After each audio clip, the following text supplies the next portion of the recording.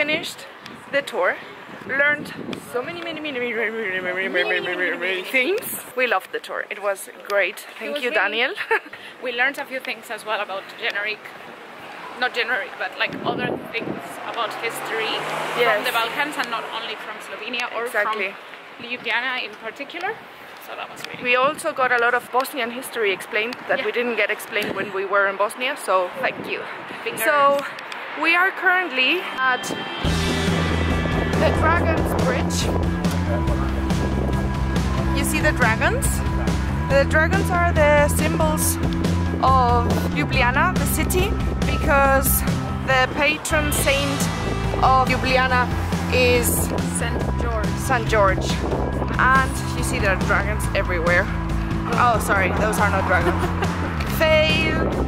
Uh, so we learned that, and I also learned to differentiate dragons and non-dragons. Now we are moving towards the market. It is closed today, so we can tell you things about the market, but we cannot show you because it's closed. And when it's closed, they turn it into a parking lot. Also, we can only tell you things about the market that we've heard about, not that we've actually seen ourselves. Exactly. Now, So now, we have the national one, the city's cathedral, not the national. what is wrong with me? I'm hungry, okay? I'm not thinking straight. We are slowly approaching town hall. That's a yeah, it's a golden shop. What do they sell? Gold? Oh, porcelain. Oh my gosh, that smells so good. So this is town hall. That's actually uh, the city hall building, and this right here represents the main rivers of Slovenia. If you have a look at the Slovenian flag, it shows uh, three stars and three mountains and a few rivers. And here the rivers are really important. And this um, monument right here, it has three sides to represent each of the three most important rivers in Slovenia. One is the Ljubljanica, the other one is the Sava, and the other one, I forgot the name. Talking about the um, coat of arms of Ljubljana, you see the Ljubljana castle and the dragon. Now I identify dragons. Good for me. Cheese plate with traditional cheese. Fish plate with traditional fish. Irene with traditional hunger face. Being like, Edurne, shut up, I want to eat. We also got a soup. That's the castle with the two flags and the river. What was the name of the architect? Plečnik. Plečnik was obsessed with columns. That's why every single bridge he built in Ljubljana has lots of columns. Oh, the pink church! We should go there and explain to people what it is. So, do you see those bridges? Well, you can only see one, I think. But the architect I mentioned before also created those bridges. Actually, the bridge in the middle was the first one and then they wanted to make it bigger because the tram was passing there and apparently people and cars and the tram they could not all fit in there and they were like oh why don't you destroy the bridge and build a bigger one and he was like uh-uh I'm not gonna do that I'm gonna build two more so there was one in the middle for traffic and then two on the sides for pedestrians and it will all se- make sense in a minute. Here is one bridge, the second one. A lot of tourists. This is the main one where the tram was passing by. That's the castle right there. And then there you can see the third one. Ta-da! That's the pink church that used to be white and then it went red. And then, was it the Franciscans? Yes, They decided to paint it red. because it's a Franciscan monastery. Yeah. And they decided to paint it red and then it started to fade and now it's pink and everybody was like, let's leave it pink, we love it pink. This is the national poet. And he was a romantic poet and he also wrote the anthem. Um, Of what? Which is of Slovenia, which is a really nice anthem that everybody here is really proud of because they mentioned first they it's a it's a toast. It's called the toast, Yes. And then it starts toasting for for Slovenia, then for beautiful women, then for beautiful men, and then to all of the countries. Uh, in peace in the world who want to live in peace, which is really So nice. and so pretty. So it sounds very romantic, obviously, because this man here wrote it, who was a romantic poet. And um, to add to the romanticism, he was deeply in love with a girl from here. That who was how old? Half his age. He was 30 something, she was 16. Ooh, telenovela stuff. So basically, they could not be together. He suffered a lot, which gave him a lot of leverage to write all of his things. And, and they just erected this statue monument for him with his muse behind him, topless. But that's the fictional muse, right? Fictional muse, he has two muses, like the fictional one, and then the other one that we will see later. Which is the 16 year old. And the fictional one is this woman behind him who I'm is good. topless. They put her there, And they put her right in front of a church. topless, in front of a church in the beginning of the 20th century. Scandal! Oh my god. So, yeah. And then his real love that inspired everything he wrote as a romantic poet is right across of him. So he's in the direction where where he's looking. She's out of her window saying hi, And what's her name? Juliet. Oh my god. Thank you for His this. name is not Romeo. oh, it's Prešeren. We don't know the first name. Thank you for the lovely story, Irene. You're welcome. I'm always up for romantic stories. We are currently asking people if the cone of Irene's ice cream counts as cookie. It doesn't. Okay. I agree with you, but let's see what the people say. You don't agree because you asked people. I'm a little shit steerer, so of course I asked the people. So we are currently at Congress Square. So in Congress Square you can find different important buildings. The university, which is turning 100 this year, fun fact, uh, in 198 days. There is a Ursulian church with a monastery behind it.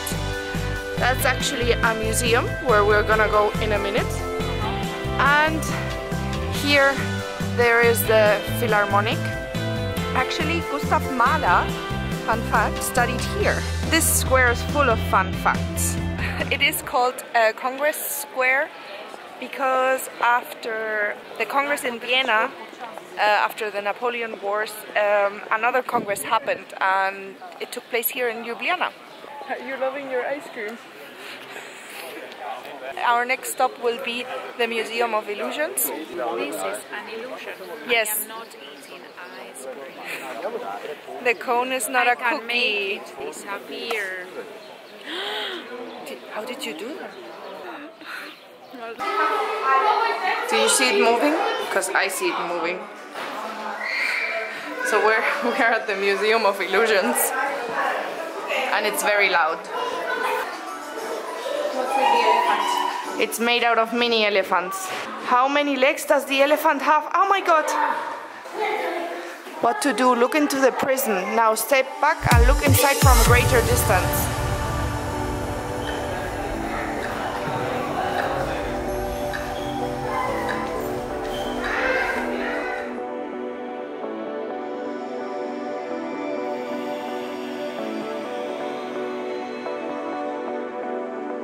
The toilets are also an illusion. Didn't you want to go? Yeah. this is an illusion. Do you imagine there being so many copies of us? Irene being unable to close the door. No, I was being unable to There were actually a lot of Irenes not being able to close the door. My problem was that I don't want to get stuck in here because it, doesn't have a handle to open. You're stuck with me forever in the infinity room, and not even with one of you. I'm stuck with all of you. Oh, it's so crowded here! Woo!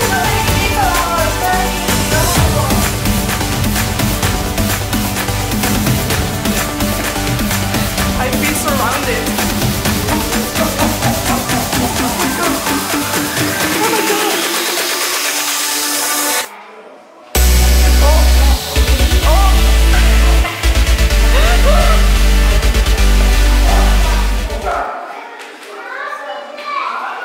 Is it the same size?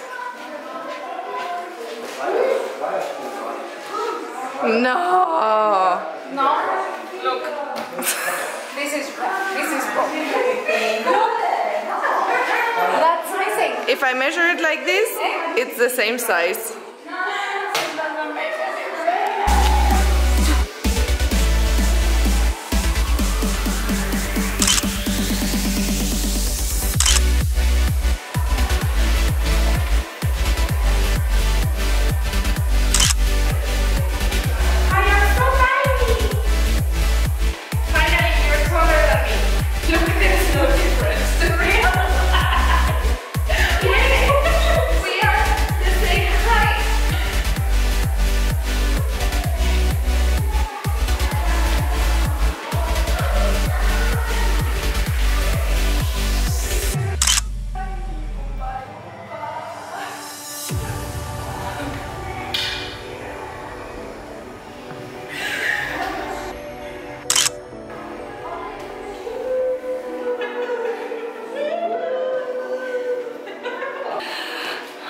We are five.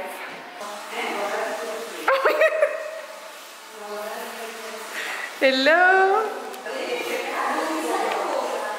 I'm nearly headless, Nick.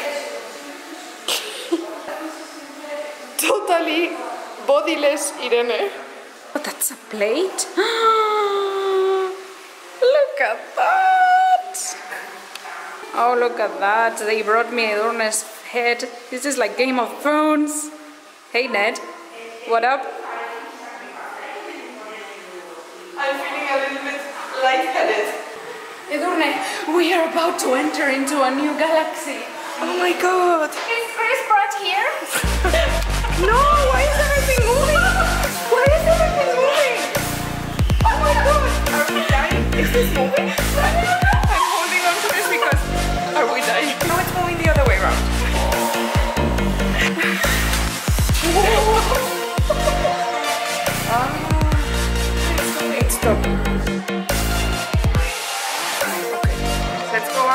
Let's enter again. So you know what we are doing, isn't it? We are strolling, strolling, strolling by the river. I have no friends. We would like to conclude our Ljubljana video here by the river. It's so pretty. Uh, what was your favorite thing here in Ljubljana, Irene? The truffle honey. And no, my favorite thing was the national poet. the romantic guy. The romantic poet I think story.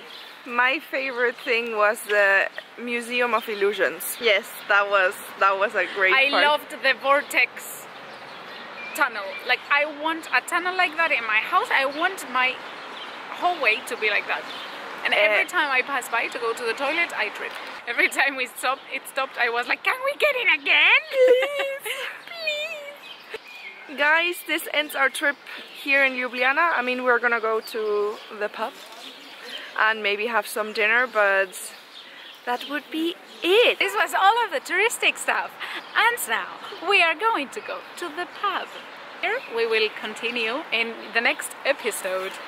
Same channel, same time, same us, different city, Exactly. different country.